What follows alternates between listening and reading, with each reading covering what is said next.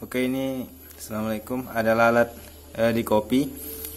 Eh, Jadi ketika seekor lalat memasuki minuman kopi kita seperti ini Maka kopinya jangan dibuang Tapi kita celupkan lalatnya secara full. Bismillah. Oke setelah itu lalat bisa kita keluarkan. Karena satu sisi sayap lalat mengandung racun Dan satu sisinya lagi mengandung penawar. Dan kopi bisa diminum lagi insya Allah jika tidak percaya, akan saya praktekkan. Bismillah.